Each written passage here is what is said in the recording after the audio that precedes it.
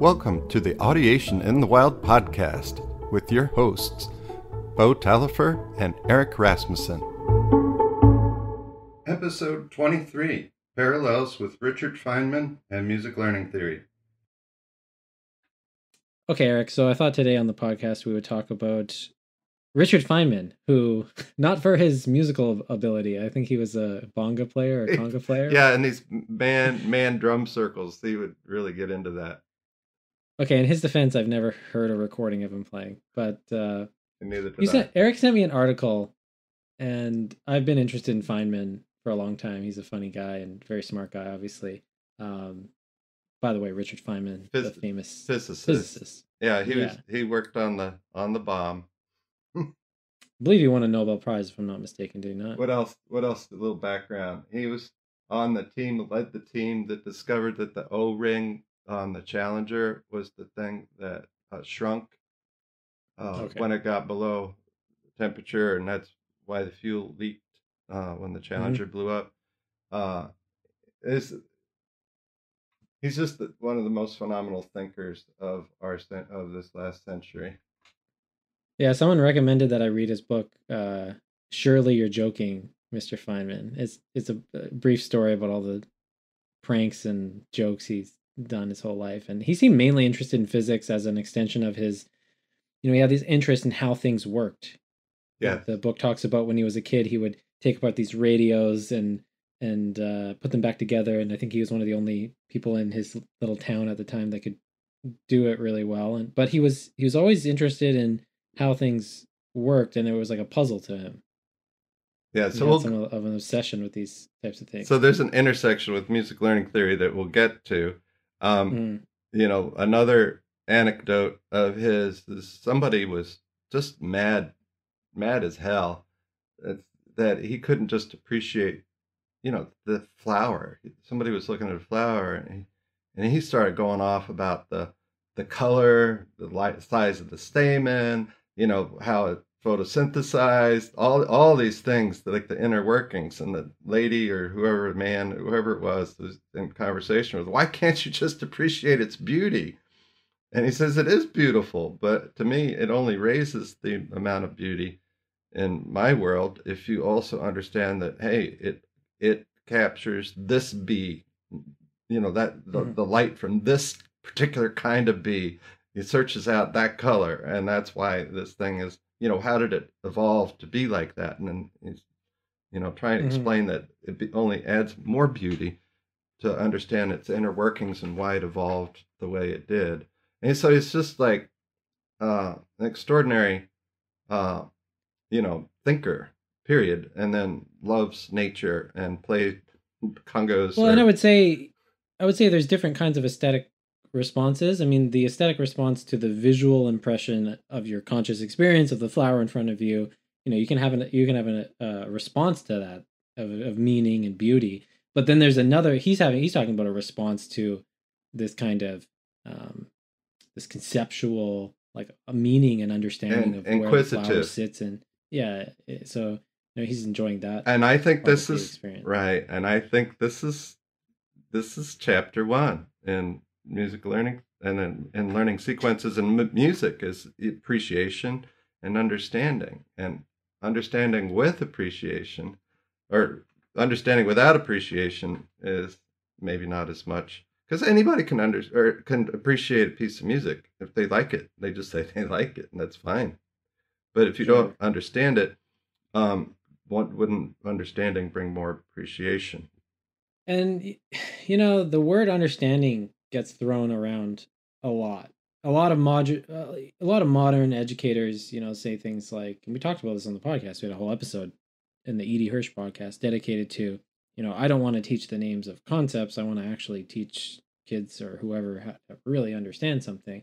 And in a sense, I profoundly agree with this. And this is why we're actually talking about Feynman. We'll get into this story in a sec. But in another sense, this can be kind of it can be it can be a little abused to the point where people stop teaching content and they kind of just let people do whatever they want in a classroom, you know, and, and that's a different when we talk to you, Eric, you know, you say things like, I let the kids steer me in the class and I learn from them. And I believe you do, but I also still believe you have some kind of curriculum hmm. agenda. Like I'm still trying to teach content, right? You're not just, oh, not just hoping. Yeah. So I, I just say this as a, um, a general warning in terms of I'm, I'm not, right. Not up for curriculum less uh, classroom. So we want to talk about Feynman because Feynman had this insight that Gordon had, and I've was making the claim that a lot of people in different fields have this insight. I mean, even the Buddha had the insight that the name of something is not the same as the thing itself. I mean, you know, so you got philosophers and religious people and physicists, and Edwin Gordon's talking about this, and all kinds of other philosophers have talked about this, but there is a huge difference between thoughts about something and the actual thing. And when you say this to somebody like this, it can sound mind numbingly stupid or juvenile, but people often forget about this. And so I'll use this story about Feynman. Uh, I'm I'm paraphrasing this from an article off of bigthink.com. We can post the link to the article, but in a lecture given by Feynman in 1966, the, inf- the influential theoretical physicist told a story about the difference between knowing the name for something and truly under and truly understanding it. So the article goes on to talk about how um, if you look at a bird in nature, all these different languages give different names to the bird. You know, that's a that's a finch. You know, in Mandarin it might be something else. In in French it has a different name. The name though is a label that we assign to it so we can recognize and communicate with it. But the name itself does not tell you anything about the inner workings of the bird or what it really is. It doesn't tell you that the bird can fly or that it lives in this area or that it has these behavioral proclivities. It doesn't tell you any of that stuff. And so hopefully what happens is when you learn things about the object, in this case the bird, and then you learn the label, the label acts as a way to reinforce all the knowledge and understanding that you have. But Feynman's point here is that by just teaching someone the name, and moving on, you actually miss out on the the real learning. And he goes on later in the article to talk about how, you know, when we teach science concepts, we often teach big concepts like energy to people that really have no business learning about a concept that's that abstract. They they haven't even grasped how, you know, just basic sensory perception like, well, when I turn my glass of water upside down, the thing falls down. You know we're trying to teach them high level abstract concepts like energy that are very memory based which is fine. Memory has to come in at some point but the underlying mecha- mechanisms for why things flow a certain way or how energy is stored it can be very easy to leave those things out. And obviously we're bringing this up because in music this is like the biggest error that people make people think that if you know the name of a scale that's going to help you if you know that even know even know the name of solfege or even know the name of tonalities. Like that's not necessarily what makes a musician a musician. It's this underlying um in real time understanding. And that's why I think audiation is best described as it's a perceptual change. So, I mean, Gordon was famous for not liking the terms inner hearing and aural perception and things like that because there's a difference between aural perception. You know, I hear knocking on my desk but audiation is a step beyond that where the sounds have been organized. But the hallmark of when someone is learning to audiate is when they listen to the same piece of music that they may have listened to before when they were younger or in the past, their perception of it in real time is changing. They don't have to do anything. When they hear the music, it's organized in a more sophisticated way, whether it's rhythmically or tonally or even stylistically. Other, you know, they might like the way uh, one person phrases it instead of another person. Totally. Uh, and so that's really what we're trying to do when we teach music. We're trying to change someone's internal uh, audiation perception or, or perception of music.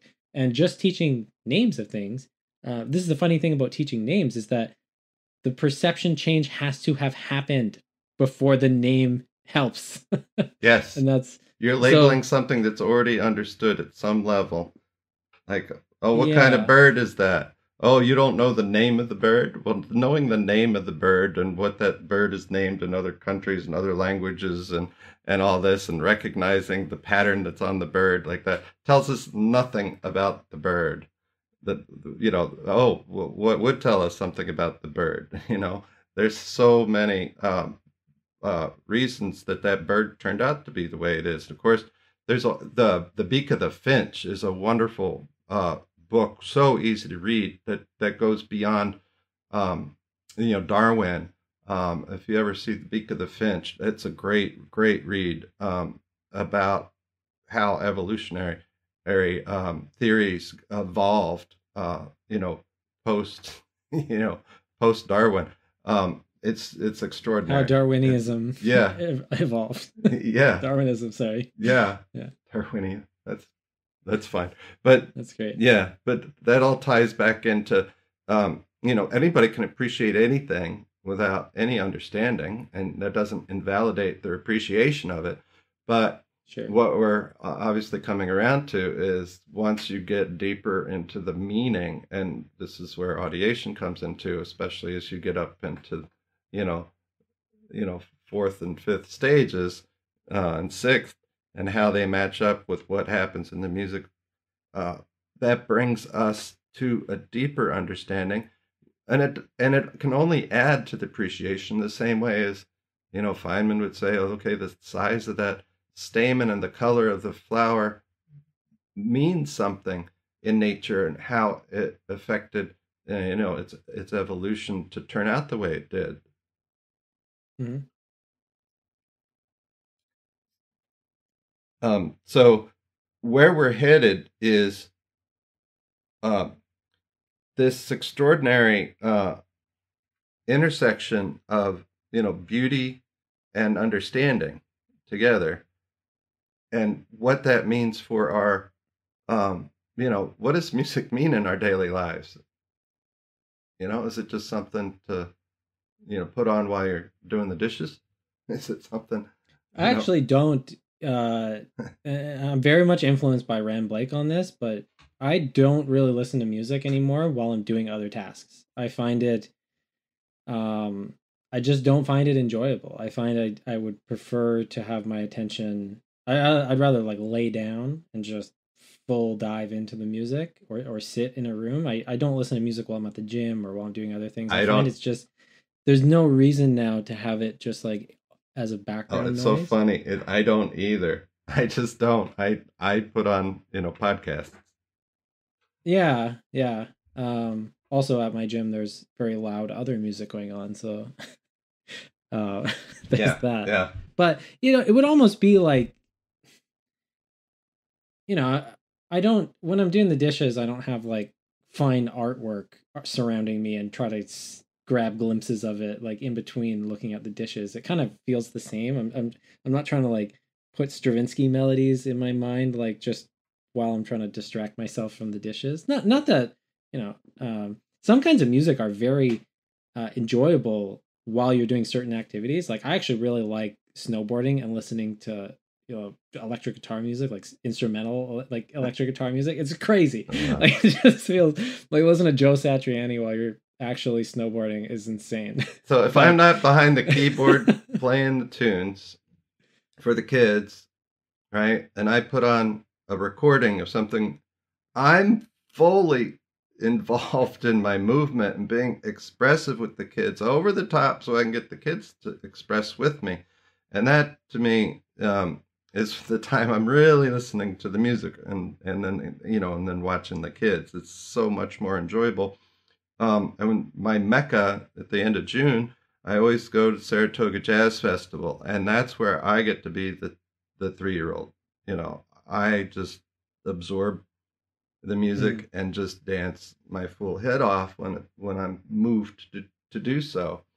Um, so I'm fully engaged with music that way, and I it's it's rare that I actually sit down and listen as much as I'd like to.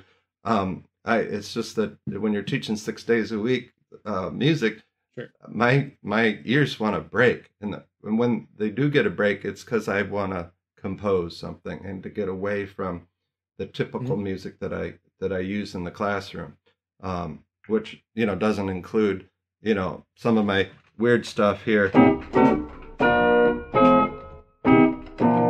These are my weird choices now. And then these. Yeah, those sounds of. Um, I and I'm trying to get away from yeah. from traditional tonal stuff and harmonic stuff because because all they you know all I'm thinking about is what do the kids need next. You know, my my four year old class got a whole bunch of Phrygian because they picked. I said pick a song and we'll do resting tone, you know, for mm-hmm. Twinkle or resting tone for uh, a minor song, and, and they and they they picked a song and I played it that way and, and was that right or wrong? I picked a song and played it that way. It was right or wrong. And it's like somebody picked a song that's Phrygian. And I said, Oh, that's not this one or that one. It's a new one. And then I just gave them like six uh, Phrygian songs in a row. And they're just sitting there going, Yeah, I recognize this. And they're not the same as the other. But, you know, yeah. it's like I just cut, you know, like they land into something that I latch on to. Um, so my I, I do actually really like taking breaks from certain types of music or certain aspects. Like if I'm doing a lot of tonal jazz and really working on that stuff, taking a couple weeks or even like a month off and then coming back to it, it, it makes it sound more fresh. Yeah. Yeah. Oh, you know? oh yeah. The ears just kind of get sick of the same chord progressions all the time. I don't know how people play like one, five, six, four for every song. Like there's some pop musicians, just like every song they play is that. But uh yeah. Yeah. It's interesting. So if um you know, we're we're talking about how there really is a difference between form and label or knowing about something and what it can do and what it's all about in eh, versus just knowing the name of it. And the the question then is is how do you teach this? you know how do you actually make sure you're not just because i don't think there's anything wrong with labels they have a purpose for, in the human i mean language obviously is insanely powerful for the human race but knowing you know concepts is also powerful and concepts gets a bad name because concept sounds like more labels but in the technical term um you know knowing something math for example has a lot of concepts that if you don't understand you know what multiplication is what addition is what square roots are those those are each types of concepts that you have to learn through experiences through applying the operations.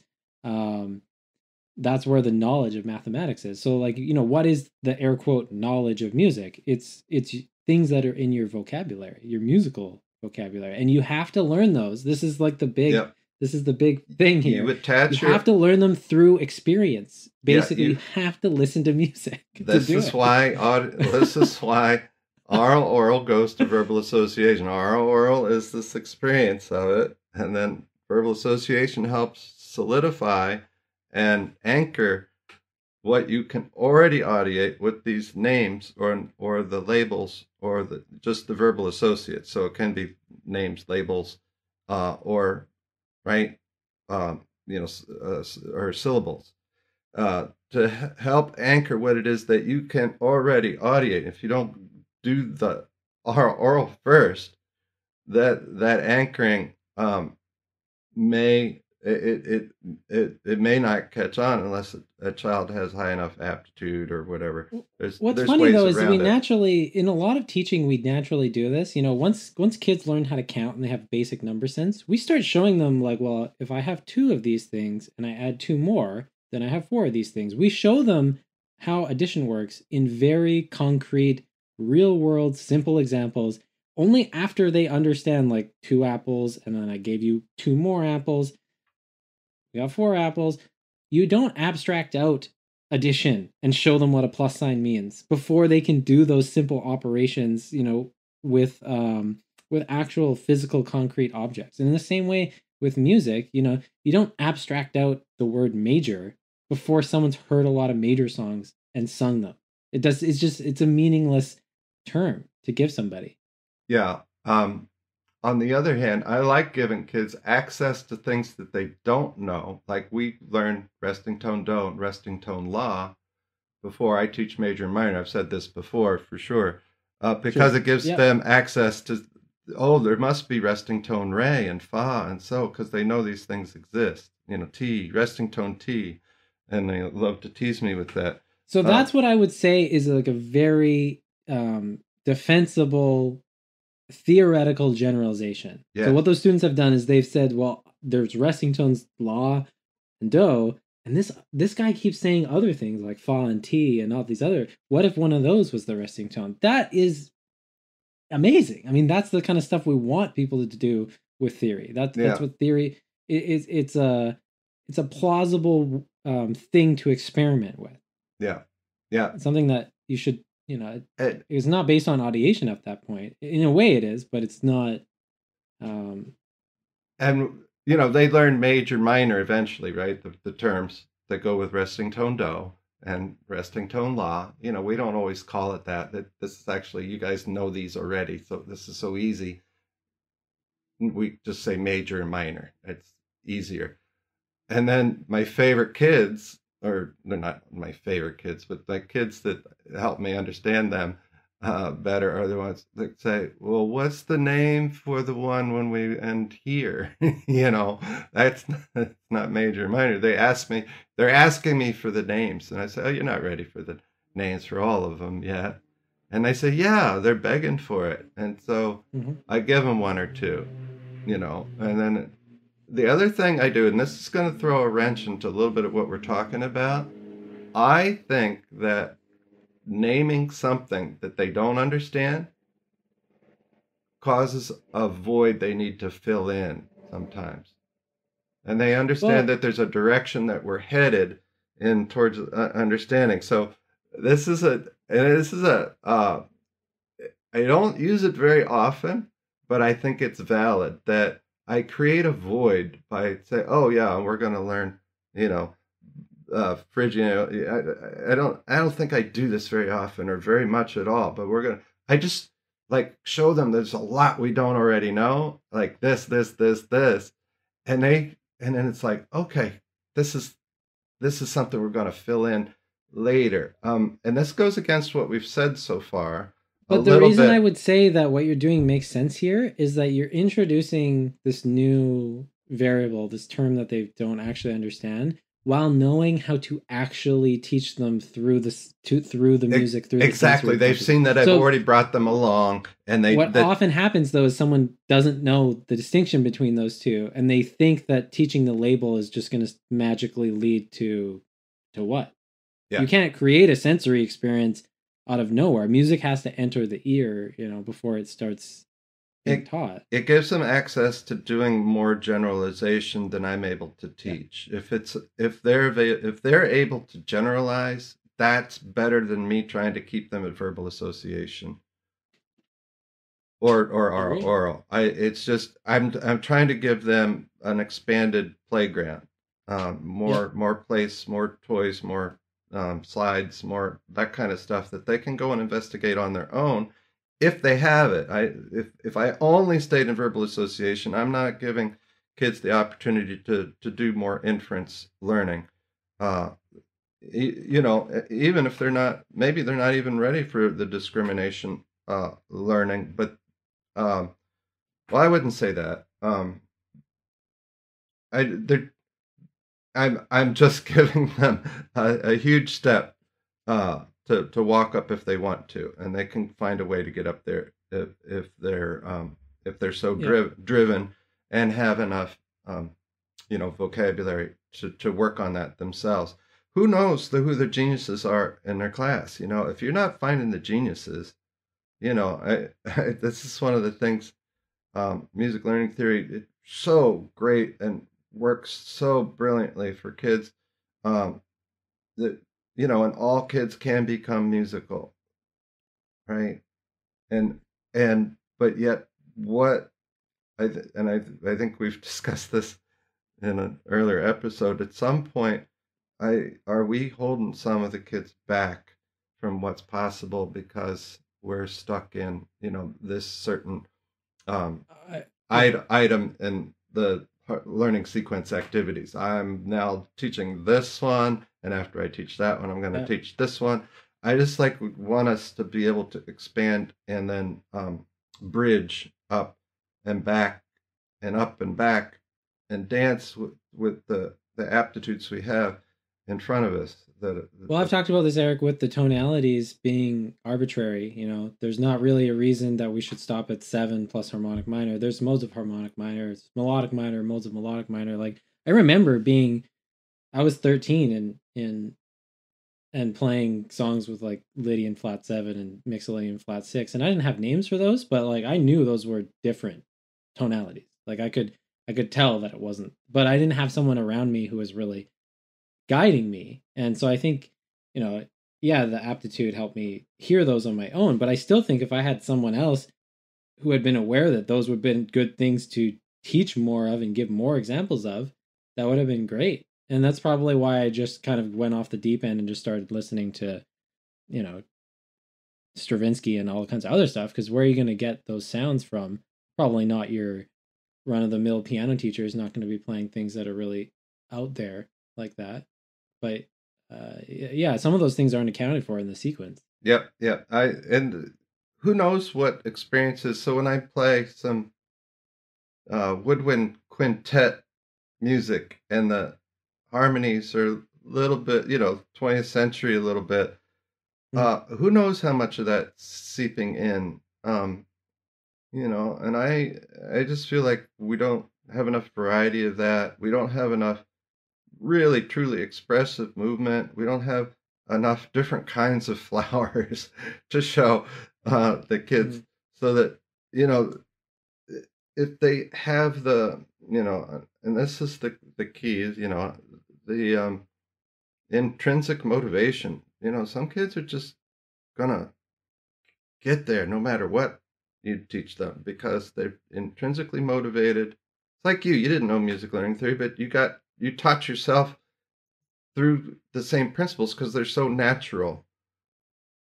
It's just Gordon yeah, was, able to. I was talking to you about this before. This is why I probably gravitate towards Gordon is because I had validated a lot of the stuff he spoke about when I was young. I, I realized that when I learned stuff by ear and then played it, it sounded it, way better than the people I hung out with that learned stuff from reading notation. Like it wasn't even comparable. Like it was so obvious to me that he, yeah, he brought he brought distinctions to that which we had experience in but didn't understand, and the, mm-hmm. in those distinctions, like once you know color then colors you don't understand color without you don't understand any individual colors without color being like that you know what i mean? Like you want to hear something interesting about color? I, I i apologize i forget what book i read this in but it was some kind of neuroscience book or linguistics book. It might have been steven pinker but the first two colors in any language that get a name are red or sorry are, are white and black and the third color is always red yes. every time. And then it's blue and uh, oh, sorry then i think it's green and yellow or blue and yellow. But it's interesting there's like kind of a there's a sequence to color naming that that cultures go through. And some of them have an uh, an uh, a choice between two for the next step but it, it's it's interesting. It's always i'm wondering with red though is is because our blood's red is it always the third like hey that, that you know like someone could be dying it, when, yeah. When when we well, see this color, people die. Well, like... there's an emotional listen. There's an emotional attachment. You know, so black and white. You know, in utero, you're you're experiencing shades of of that, right? Mm-hmm. And uh, and then so once you're born, you know, your eyes. Uh, I, I, you know, I, I, I don't know. So I'm not going to go there, but I am going to say that the emotional attachment uh, helps us yeah. remember. And so if they're, you know, you're born into a, a red puddle. So the emotional attachment, uh, you know, to to bring this out of color and into music, one of the reasons I really like the the exercise that Ran Blake in his book Primacy of the Ear gives that we've talked about a lot on this podcast about making a playlist and listening to this playlist twice a day. And we're not talking about five minute songs, just like one minute sections of songs.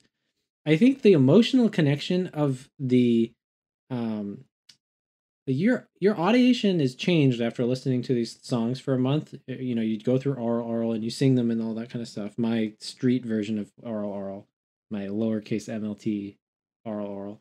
But there's an emotional connection that's made because the song has a name and there's a certain artist that plays the song. I do think um, that that plays a role in how it augments someone's memory rather than just learning a bunch of exercises out of like a unmarked book. Like for example, I've noticed when when I teach kids songs from movies that they have a strong connection with, the patterns in those songs are just grilled into their memory. You know, if I go bomb bomb bomb, you know, some of these uh or, or one of my students, her that little sound, dun dun dun, that's her doorbell at home. Yeah. That tonal pattern was very easy to teach her because I was yeah. like, that's your doorbell. So there's some kind of emotional connection that can be leveraged when, you know, music it means something to somebody, you know, from whether it's a show they like or a band that they like. But yeah, um, yeah, it's funny how that uh how that works. Yeah, did we t- ever Maybe... talk about teaching like the concept of like what? So go- going back to like a, a, deeper context of this, do you ever explain the concept of audiation? I think we we did touch on this before. So we touched that... on this a little bit, yeah.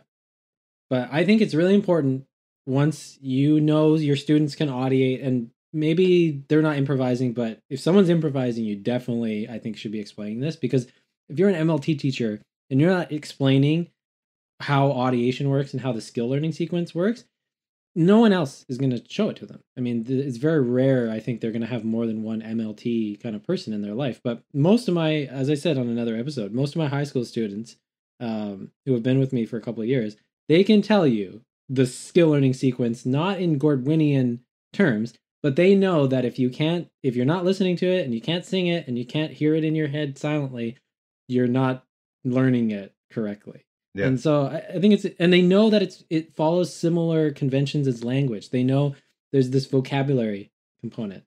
You know, they, they can't explain it in terms of the way learning sequences yeah. music. They're not going to talk to you about musical perception and the stages of audiation and all this stuff, but they know it's vocabulary. They're starting to understand the inner workings of the system that gives rise to audiation and why we're working the way we are. Same way, it, you know, it gives somebody the opportunity to look beyond the beauty of the flower and get into the inner workings of why nature had it had it uh, evolve that the way that it did, attract exactly those bugs that it did, and like that. So there's some glue, uh, like the background noise gets glued uh, to the to the thing itself that you're trying to understand. That that I had a great conversation. Level, Uh, some I had a great conversation yeah. yesterday with one of my students, and he's been with me for this is the fourth year he's been with me, and he he has a playlist on iTunes that I have access to, so I know all the songs that he listens to. And I said, you know what? It's so great you have a playlist because like there's like a hundred songs on here that I know are just burned into your mind, and this is so fun for us to learn from these songs. And you know, it actually just helps you learn music better. And I said, you know, it's surprising, but a lot of students don't listen to music on their own time. It's very common and especially instrumental instruction. And you know, I kind of pushed him to answer like, why is that a problem for learning to learning music? And he said, no, immediately. And this isn't this is uncoached, unprompted, um, unprompted by me now. He he starts saying things like, well, how would a kid if they grew up in an English speaking household, just spontaneously learn to speak Spanish if no one in their house was speaking Spanish to them. Like this doesn't make any sense. Like he understands, yep. you know, that you need input, you need grist for the this, mill. This week we're going to look at the daffodil, and then next week we'll look at a tulip, and then we'll learn the name of the tulip, and and then and then we'll you know, no, show them a whole field of wildflowers and, and just go to the flower and store and just and, dive in.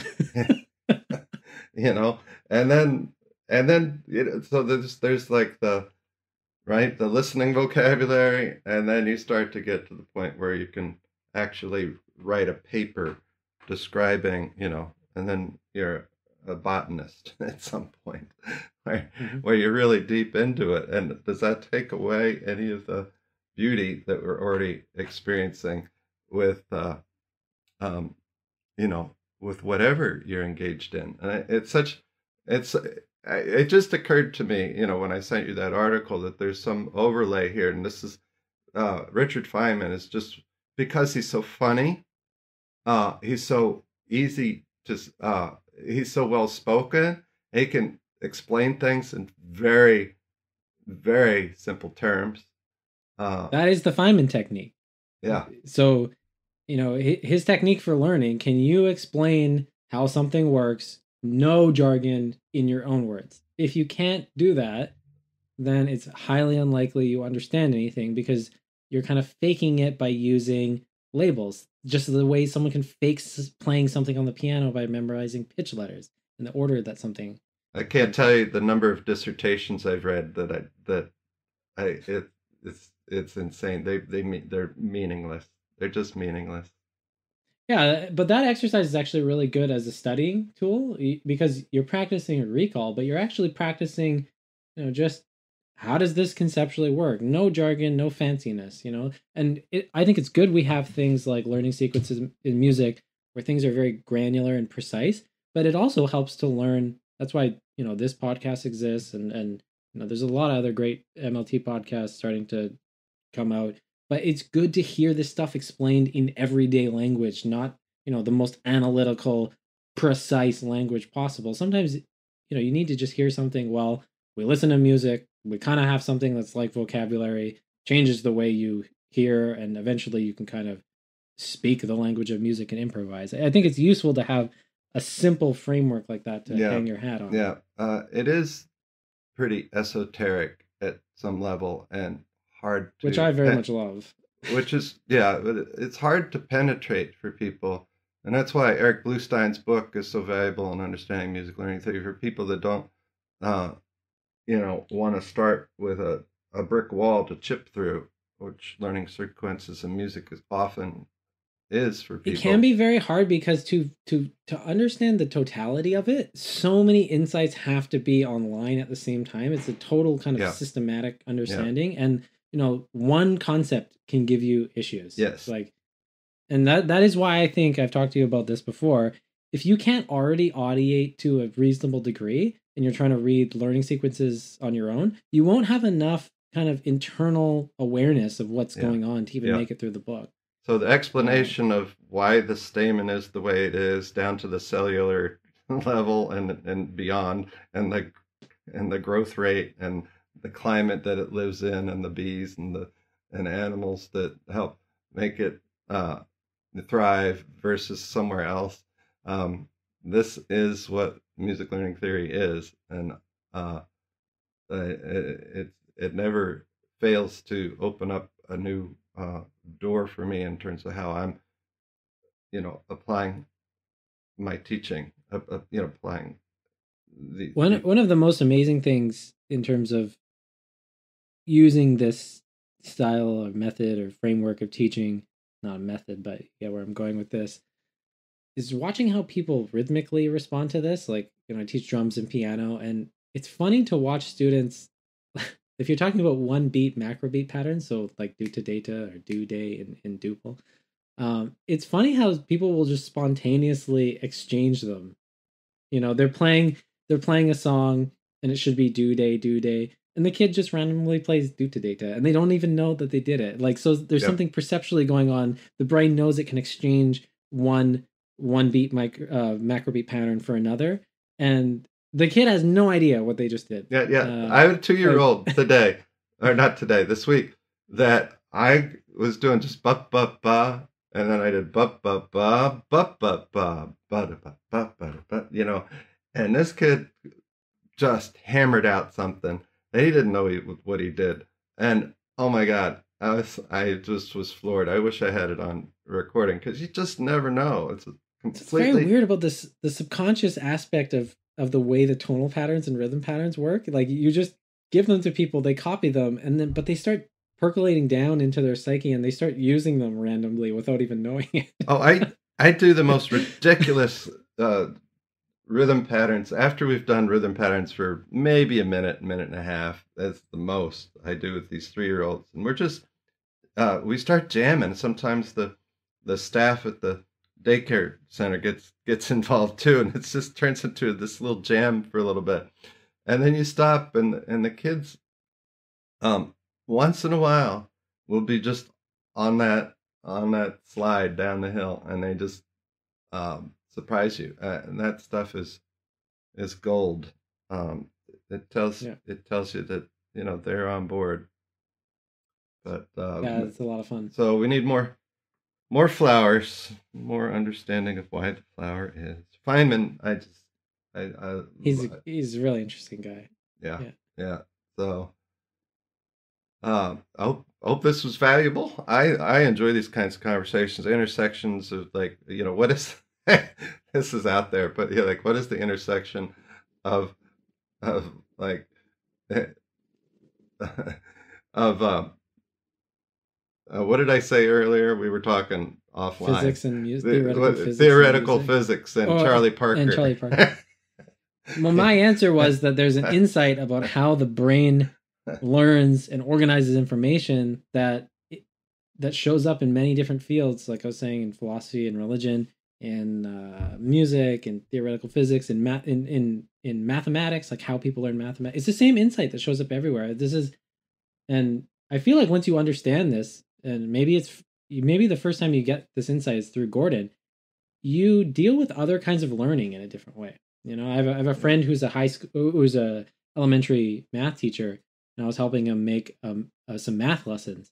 And I'm not a math teacher, but you know that the concepts have to be learned from sensory experience first. You know there has to be practical examples. Yep. Yep. You know you can't teach through abstraction first.